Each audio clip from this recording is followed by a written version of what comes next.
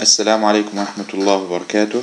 إن شاء الله اليوم آه، بدنا نبدأ في الجزئية الثالثة من chapter أربعة اللي بتتكلم عن ال unsteady flow in pipes وحناخد نموذج عن ال unsteady flow in pipes اللي هي ال water hammer أو ظاهرة ال water hammer أو المطرقة المائية. طبعا للتذكير ال unsteady flow إيش حكينا عنه زمان في ال fluid mechanics قلنا ال flow ممكن يكون steady ممكن يكون unsteady آه، والنظرة بالنسبة أو الفرق بين steady و unsteady flow هو الخصائص تبعت ال flow مع الزمن. إذا كانت خصائص ال flow مع الزمن بتتغير زي ما إحنا شايفين هنا بتتغير مع الزمن بيكون هذا unsteady إذا خصائص ال flow اللي هو ال pressure وال velocity وخلافه لا تتغير مع الزمن بيكون هذا steady في كل ما سبق كنا بنتكلم عن ال steady flow. اليوم أول مرة بنتكلم عن ال unsteady flow اللي فيها خصائص ال flow اللي هي زي ال pressure تمام؟ خصائص ال flow زي ال pressure بتتغير مع الزمن. وإحنا شايفين هنا رسمة بتوضح علاقة ال pressure مع الزمن وال pressure مع الزمن عند نقطة محددة بتتغير قاعدة وبالتالي هذا نموذج من نماذج ال unsteady flow.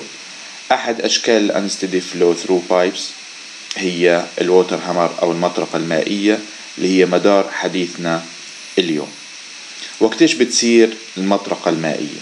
وهذه ظاهرة يعني لازم ناخدها بعين الاعتبار ونهتم فيها خاصة في ال flow through pipes بيقول لي لما يكون في عندي sudden change of flow rate in large pipeline تمام في حاجتين. في عندي sudden change of flow rate بمعنى آخر كان في عندي فلو وإحنا رحنا وقفناه مرة واحدة. هذه هذه جزئية من الشيء اللي إحنا اللي بكون الظاهرة إذا عندي فلو ماشي ووقفناه مرة واحدة. واحد يقول لي كيف بدي أوقفه مرة واحدة؟ مثلا رحنا سكرنا ال valve مرة واحدة. طفينا ال pump مرة واحدة. الشغلة الثانية إنه هذه الظاهرة بتكون أوضح وأكبر لما يكون في عندي large pipeline يعني أنابيب كبيرة بتنقل كميات وكتل كبيرة من المياه. فأنا عندي كتلة كبيرة من المياه تمام؟ مثلا عندي أنبوب كبير قطره كبير وطوله كبير بينقل كمية كبيرة من المياه ومرة واحدة رحنا إيش؟ وقفنا ال flow rate. فهنا بيقول لي بيصير إيش؟ بيصير في عندي force تمام؟ تنتج نتيجة لتغير ال flow rate. إحنا لما يكون في عندي momentum MV في ونكسره ل zero مباشرة زي ما أخذنا في chapter خمسة في ال fluid mechanics بصير في عندي force تمام؟ إذا مباشر نتيجة للقطع المفاجئ لل flow rate تنشأ force وهذه ال force بتسبب rise كبير في ال pressure يعني زيادة كبيرة في الضغط أكبر بكتير بعشرات المرات من الضغط السائد قبل ما ما ما نحدث هذا التغير. تمام؟ وهذه ال force اللي بتسبب pressure تمام ممكن هذا ال pressure الكبير جدا لأكبر بكتير من ال normal static pressure in the pipe ويقصد بال normal static pressure in the pipe هو ال pressure السابق اللي كان سائد اللي جاي اللي كان سائد من ضغط ال fluid قبل حدوث التغير المفاجئ في ال flow rate هذا الضغط ممكن يسبب fracture of the pipe تمام؟ يعني ممكن يسبب تشققات وانفجارات لمين؟ لجدار الأنبوب. وممكن أو أي مكان يكون ضعيف في في الخط. تمام؟ وين ما بيكون في ضعف في الخط ويجي في ضغط عالي جدا جدا نتيجة لل force المتشكلة من تغير ال flow rate بشكل مفاجئ نتيجة مثلا لتسكير valve بشكل مفاجئ. تمام؟ هذا ممكن إيش؟ يسبب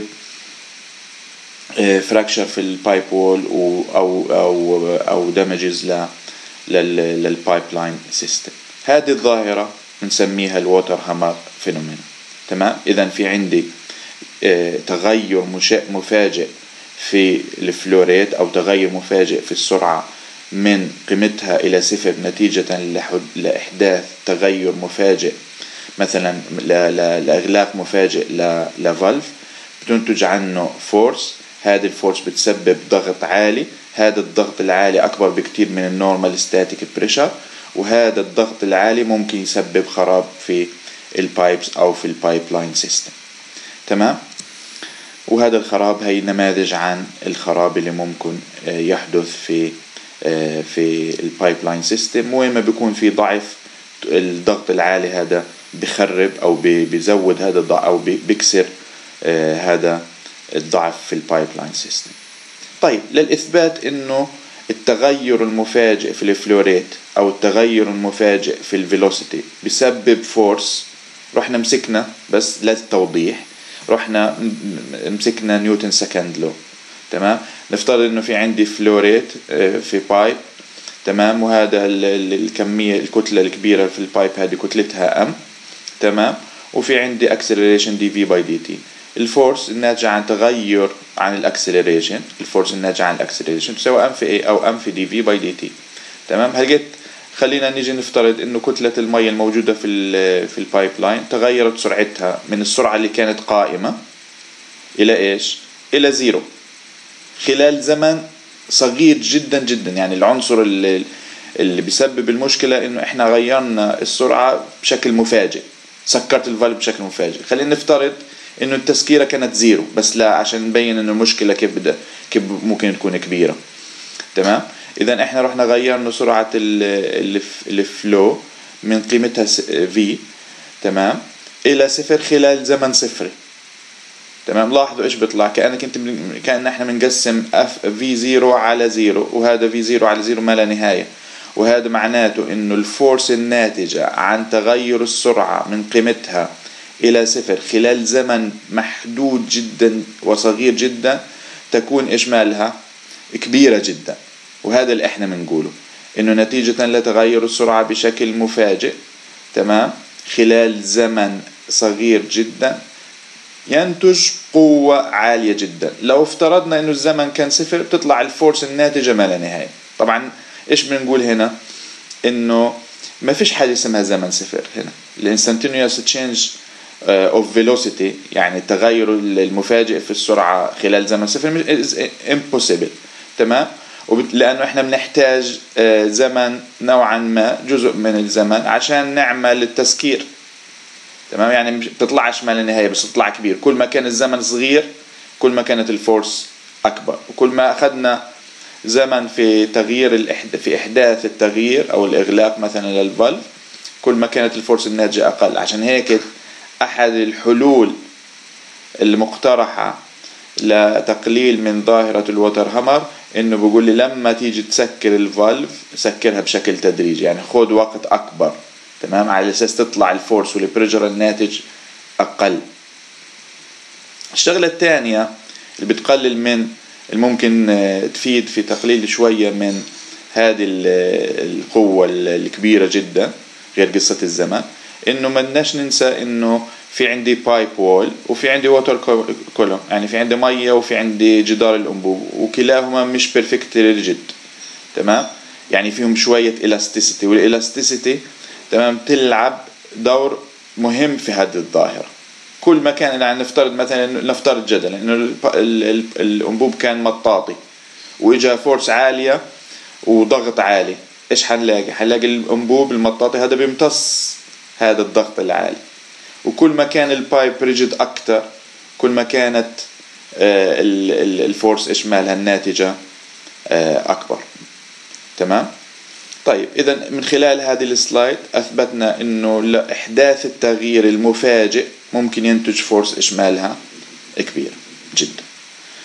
طيب خلينا ناخذ نبدأ ناخذ حالة يعني مثال عن هذا الموضوع. وبدنا إحنا نشرح هذه الظاهرة لأنها معقدة جدا. حنشرحها في مثال بسيط بس من أجل نحطكم في صورة الظاهرة وإيش تنتج عنها وإيش تفاصيلها حناخد تانك طالع منه pipe في نهاية ال pipe في valve طبعا ليش حطينا ال valve عشان بدنا نسكره بشكل مفاجئ ونشوف كيف الضغط كيف ال for كيف الضغط بينشأ وكيف بيصير لما تحدث ال water hammer تمام؟ طيب بقول لي if the valve is suddenly closed يعني لو إحنا رحنا سكرنا ال valve بشكل مفاجئ ال momentum بنكسر. إيش يعني ال momentum بنكسر؟ يعني إحنا بنقلله من m في v لصفر تمام؟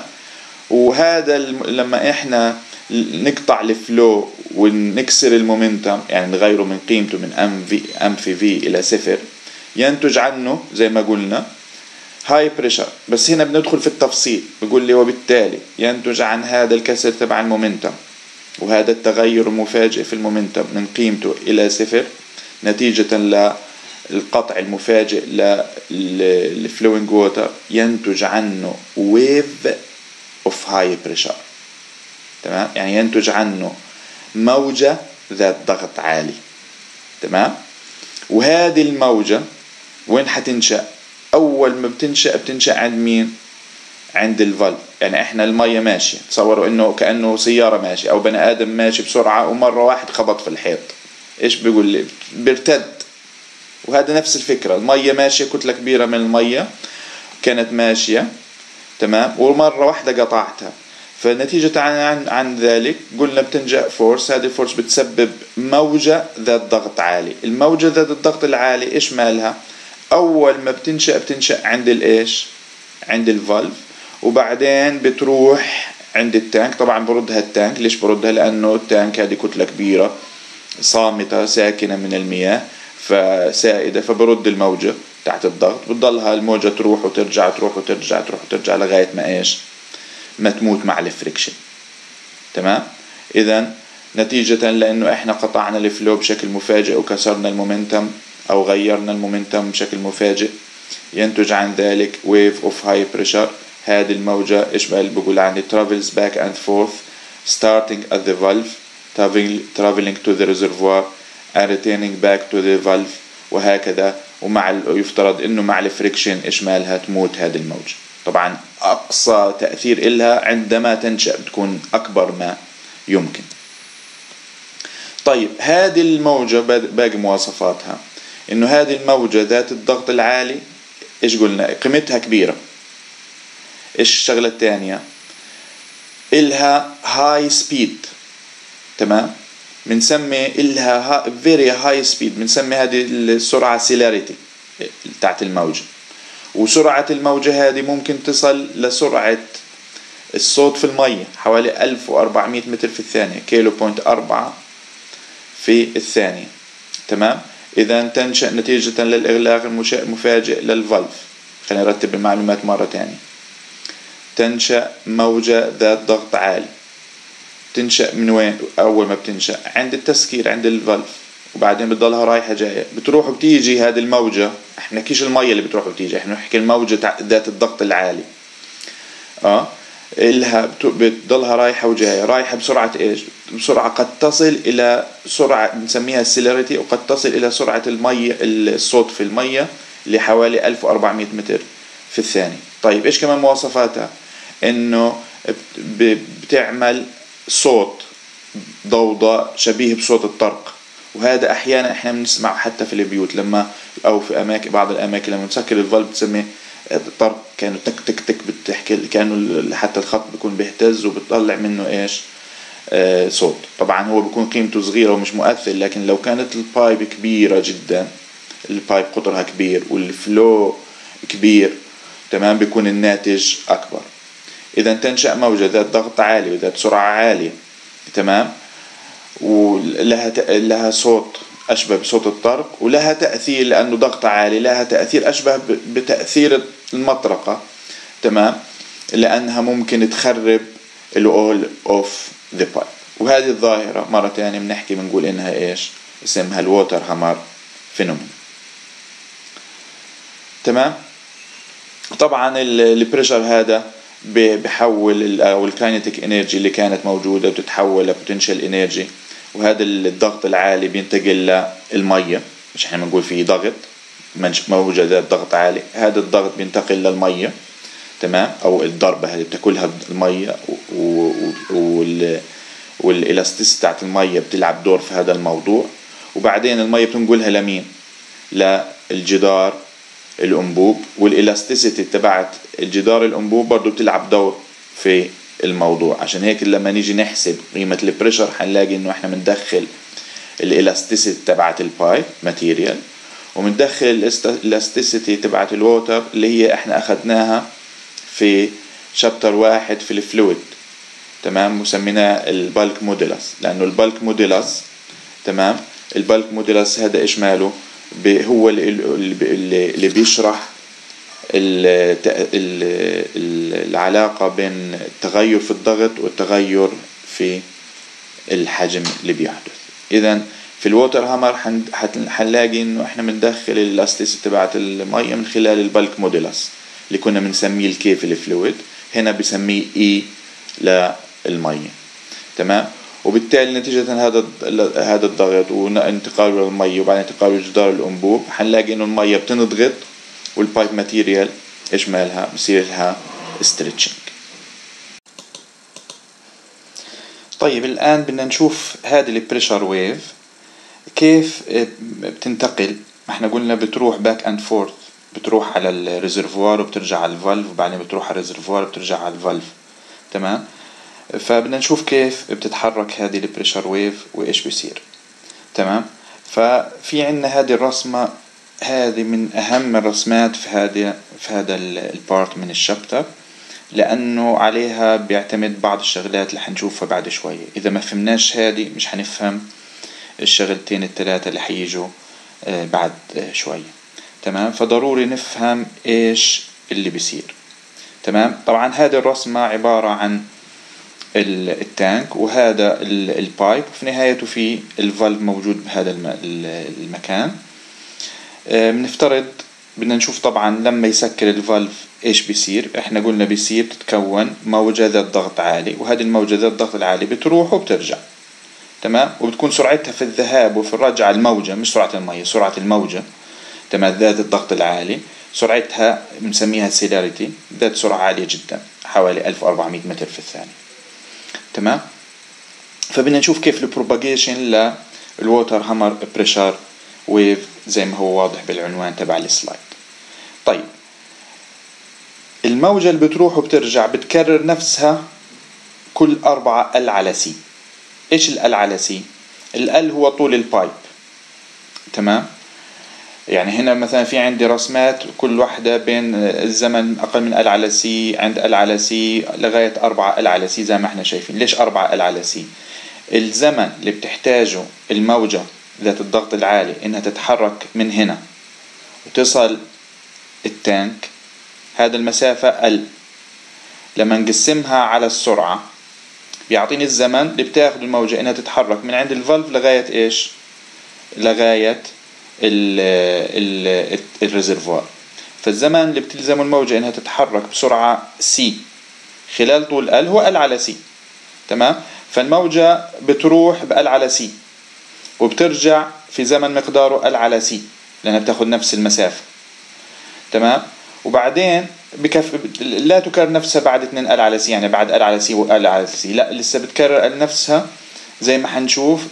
بتروح وبترجع وبتروح وبترجع بعد هيك بتكرر نفسها تصير الموجة متكررة زي ما حنشوف في الرسمة هذه. تمام؟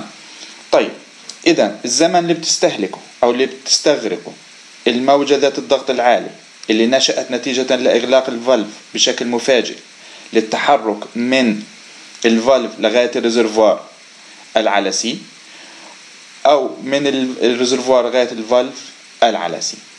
طيب إحنا هنا بدنا نشوف إيش بيصير على فرضية إنه ما عندناش losses يعني بدنا ناخذ الحالة زي ما أنتم شايفين حالة بسيطة بدنا نفترض إنه ما فيش فيه head losses friction losses عشان هيك بنقول الموجة بتكرر نفسها لأنه ما فيش فيه friction وبالتالي بتضلها تكرر نفسها تكرر نفسها وبتموتش. لو في friction بتموت مع ال... مع الزمن. طيب بس عشان نشرح إيش اللي بيصير. طيب خلينا ناخذ ال steady state condition يعني الوضع قبل إقفال ال valve. قبل إقفال ال valve كانت المية متحركة من reservoir ناحية ال valve تمام؟ بسرعة V naught والضغط ما دام ما فيش فيه losses ال total head تمام؟ أو عشان ما فيش فيه losses الضغط عند أي نقطة مقداره قديش؟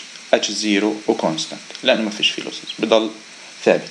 لأنه اللي بينزل ال energy grade line هو ال losses فإحنا قلنا هذا اللي إحنا بنشتغل فيه هنا بنوضح فيه الفكرة العامة لل propagation لل pressure wave إنه إحنا بدنا ناخد إنه ما فيش في عندي losses عشان نفهم بكل بساطة إيش اللي بيصير. طيب اذا مرة تانية في ال steady state condition كانت المية متحركة من ال reservoir ناحية ال valve بسرعة مقدارها V zero والضغط عند كل النقاط في ال pipe مقداره H zero طيب هلجيت خلينا نقفل ال valve بشكل مفاجئ ونشوف إيش بيصير. تمام؟ يعني خلال الزمن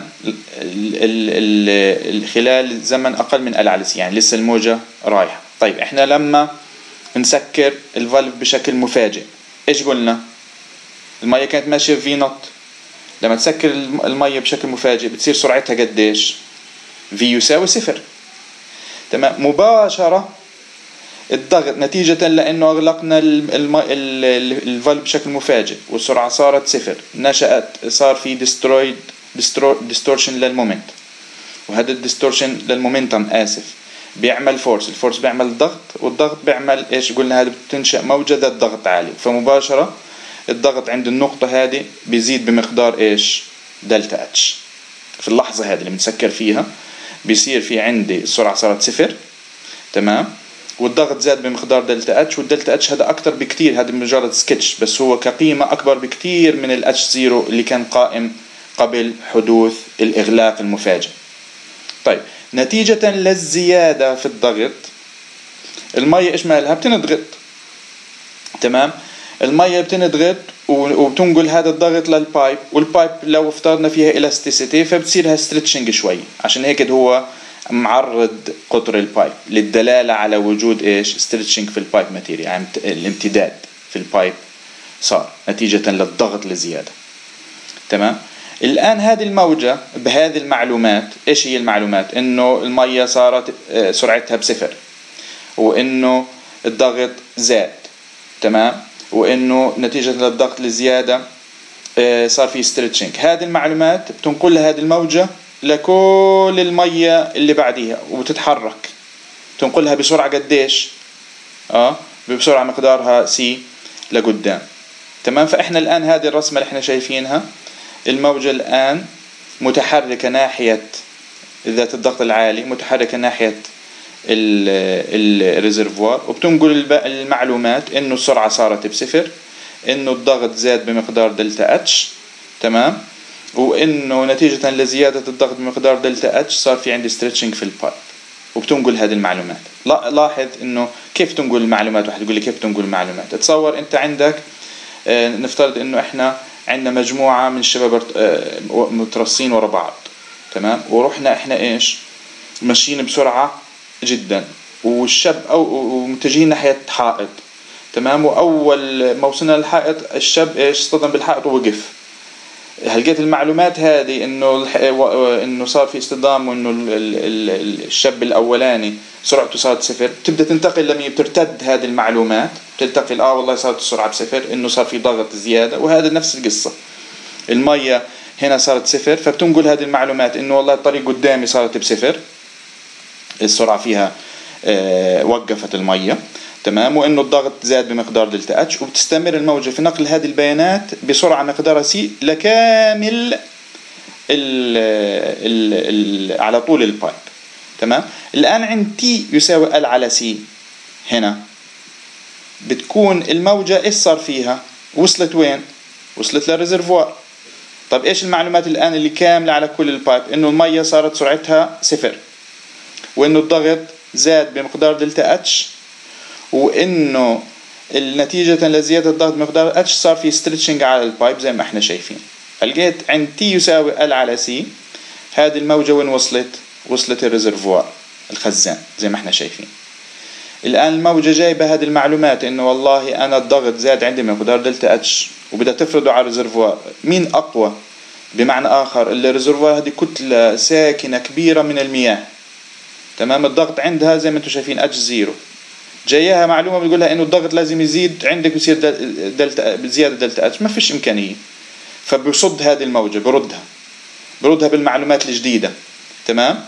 تمام؟ هلقيت إحنا مرتدين؟ راجع الموجة. وصلت عند ال reservoir وصار إيش؟ ارتدت. ال front تبع الموجة هي مرتد. بالمعلومات الجديدة إنه الضغط السائد الساند الكبير لازم يرجع ل zero. تمام؟ تمام؟ وهي مرتدة الآن.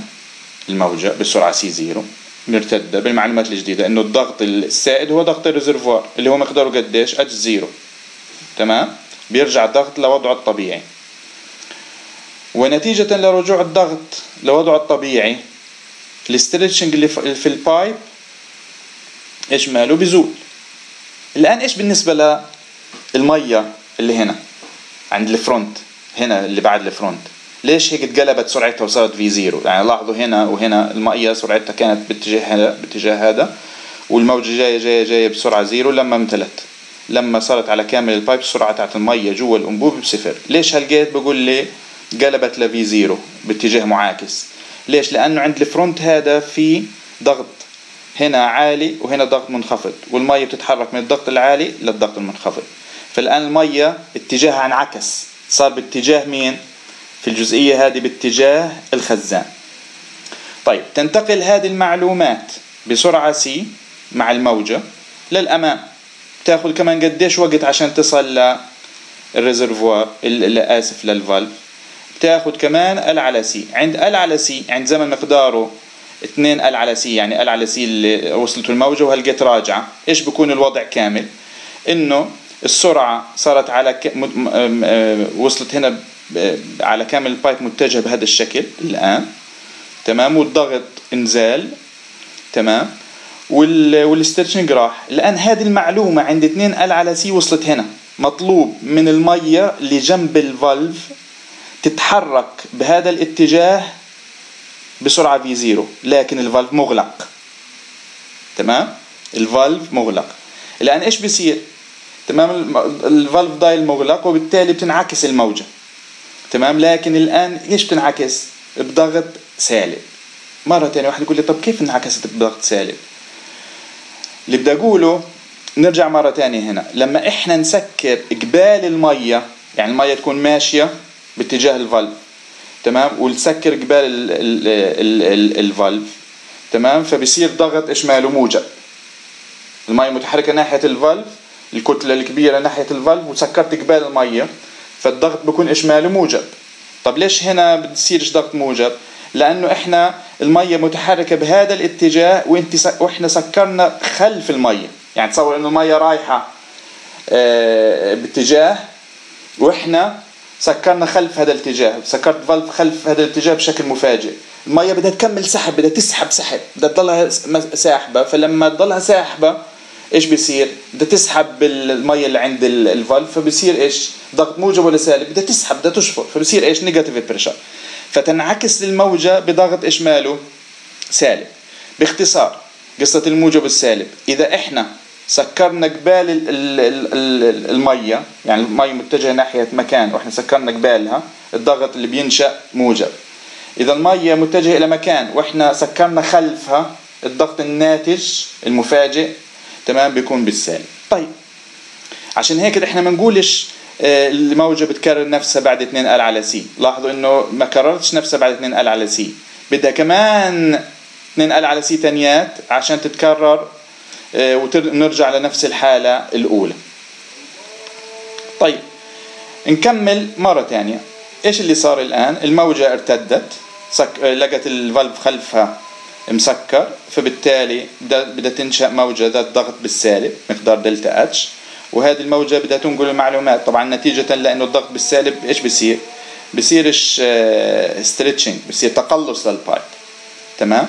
والمعلومة إنه المية إنه ال valve هنا مسكر وبالتالي المية لازم تصير صفر. وتنتقل هذه المعلومات على كامل ال pipe وبدها L على C كمان عشان تنتقل إلى كامل ال pipe الآن عند ثلاثة L على C إيش المعلومات الموجودة؟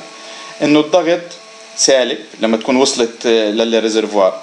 إنه الضغط سالب نتيجة ل إنه الضغط negative بصير في تقلص على كامل ال pipe تمام؟ إنه السرعة بصفر صارت كاملة وصلت هنا بصفر. ووصلت المعلومات هذه لمين؟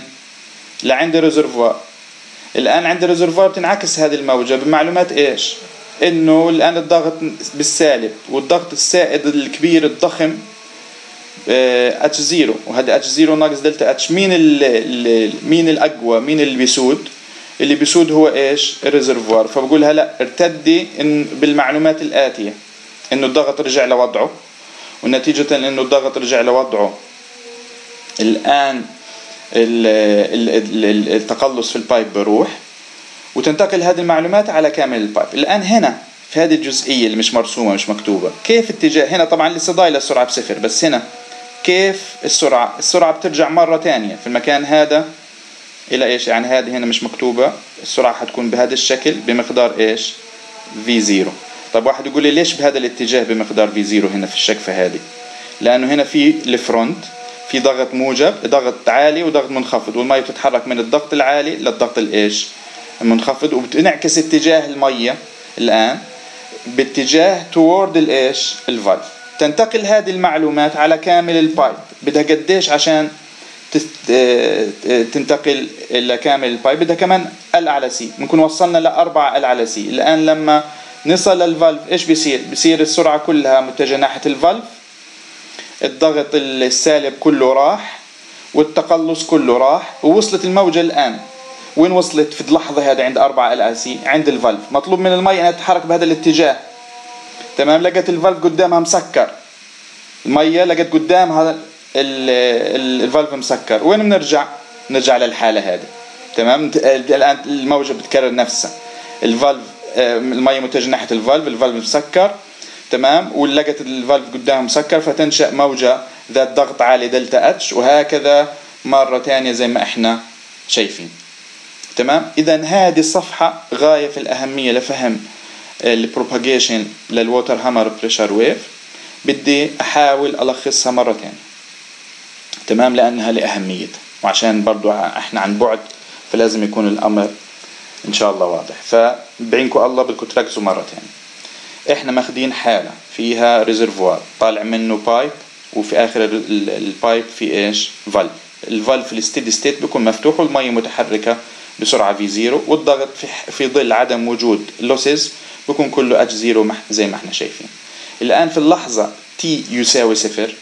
رحنا سكرنا ال ال ال valve فالآن كسرنا السرعة. صارت وال momentum صار ال momentum هنا والسرعة هنا بصفر. فينتج عن ذلك موجة موجة ذات ضغط عالي تمام؟ بيزيد الضغط بمقدار delta H لأنه سكرنا قبال المي. تمام؟ وهذه الموجة بتنقل هذه المعلومات إنه الضغط زاد نتيجة لزياد وإنه السرعة صفرت وإنه الضغط نتيجة لأنه السرعة صفرت زاد بمقدار delta H ونتيجة لزيادة الضغط. إيش بيزيد كمان؟ بيزيد بيصير في عندي stretching في ال pipe وبتنقل هذه البيانات بسرعة C عالية جدا سرعة الموجة لكامل النقاط لكامل ال ال ال النقاط اللي على ال pipe الآن إيش بتنقل؟ إنه السرعة صارت بصفر.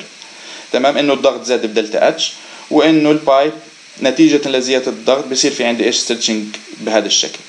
الآن الآن بتكمل. هي رايحة. قديش بدها زمن عشان تنقل كامل البيانات؟ L على C كاملات عند L على C كاملات الضغط بيكون على كامل ال pipe زاد بمقدار delta H. نتيجة لزيادته صار في stretching والمية صارت كلها إيش؟ وصلتها البيانات إنه السرعة إنه المي انه ال valve مسكر وإنه المية سكنت. الآن بتصل هذه المعلومات عند ال reservoir. ال reservoir برد هذه الموجة. بإيش؟ بالضغط السائد اللي هو ضغط ال reservoir نفسه بردها برجعها بقول لها الضغط الزيادة لا مش مقبول. ارتد يا موجة. ونتيجة لأنه راح الضغط اللي هنا بيروح ال stretching تمام؟ والآن المو... المية نفسها بتعكس اتجاهها. لأنه في عندي ضغط عالي هنا وضغط منخفض هنا عند ال front تبع الموجة. والمية بتتحرك من الضغط العالي للضغط الإيش؟ المنخفض. تستمر هذه البيانات في الانتشار على كامل ال pipe وبتاخد L على C كاملات. عند اثنين L على C تانيات. إيش بتصير البيانات؟ إنه المية إنه الضغط كله الزيادة راح زي ما إحنا شايفين. وإنه نتيجة لذلك كمان ال stretching بروح. وإنه المي الآن كلها صارت مطلوب منها إنها تتحرك في في كامل ال pipe بهذا الاتجاه. لكن في اللحظة عند 2 L على C بكون وصلت هنا الموجة. بتلاقي ال valve مسكر. تمام؟ ولأنه ال valve مسكر تمام؟ الموجة الآن مطلوب منها المي مطلوب منها تتحرك بهذا الاتجاه. لقت ال valve خلفها مسكر تمام؟ فبتنشئ موجة مرة هذه ذات ضغط سالب لأنه إحنا سكرنا خلف اتجاه المية ونتيجة للضغط السالب هذا بتقلص ال pipe. وطبعا ما دام هي وصلت هنا وبتقولها ال valve مسكر فبتسكن ال velocity. وتنتشر هذه البيانات من خلال الموجة ذات السرعة C على كامل ال pipe بدها كمان L على C يعني بنكون وصلنا 3 L على C بتكون البيانات كاملة الآن الضغط كله بالسالب على كامل ال pipe ال pipe كلها تقلصت نتيجة هذا الكلام وإنه مطلوب من المي إنها الآن كلها وصلتها إنه الطريق قبلك مسكرة وبالتالي لازم السرعة تكون على كامل ال pipe تبعت الميه بصفر. تصل هذه البيانات عند 3 L على C بالضبط عند وين؟ عند ال reservoir. ولما تصل عند ال reservoir برد هال reservoir تمام الخزان وبقول هالضغط هذا اللي بالسالب لازم يروح تمام ويرجع إلى وضعه الطبيعي. فبترتد الموجة بسرعة C وبتنقل هذه البيانات إنه الضغط اللي بالسالب راح. وإنه نتيجة لذلك التقلص اللي في ال pipe بيروح. ونتيجة كذلك وهي رايحة وتنقل هذه المعلومات وهنا في عندي ضغط موجب وهنا ضغط آسف ضغط عالي وهنا ضغط منخفض أقل منه. فبتنعكس مرة ثانية اتجاه المية تورد في اتجاه مين؟ ال reservoir. تستمر البيانات هذه في النقل من خلال ال pressure wave على كامل ال pipe وبدها كمان L على C عشان تنتشر على كامل ال pipe هذه البيانات عند 4 L على C بالضبط بتكون الموجة بالضبط وصلت عند ال reservoir بالبيانات الآتية إنه الضغط راح اللي بالسالب وإنه المية مطلوب منها تحرك اتجاه ال pipe على كامل اتجاه ال valve على كامل ال pipe وطبعا نتيجة لذهاب الضغط السالب بيروح التقلص. الآن في اللحظة هذه بتكون وصلت مطلوب من المي أنها تتحرك بهذا الاتجاه عند ال valve والفالف لقته قدامه مسكر فبتنعكس الموجة زي ما بنرجع على الوضع هذا عند لحظة عند تي يساوي صفر وبنرجع مرة ثانية لهذا الشكل. تمام؟ ضروري جدا جدا تكون هذا الرسمة تكون واضحة. الآن أنا شرحت الموضوع هذا مرتين الرسمة هذه مرتين. اللي ما يف... اللي ما, ما فهمها تمام؟ بده يرجع على الكتاب تبعنا. في جزئية مكتوبة بكتابة إيش اللي بيصير بالضبط؟ يقرأها بروية تمام؟ وبعدين إذا بضل في مشاكل برضه ممكن نعاود نحكي شوية آه عليها تمام؟ الله يعطيكم العافية. المرة الجاية المحاضرة الجاية تعتمد بشكل رئيسي على هذه الجزئية فضروري جدا جدا جدا تكونوا دارسينها. الله يعطيكم العافية.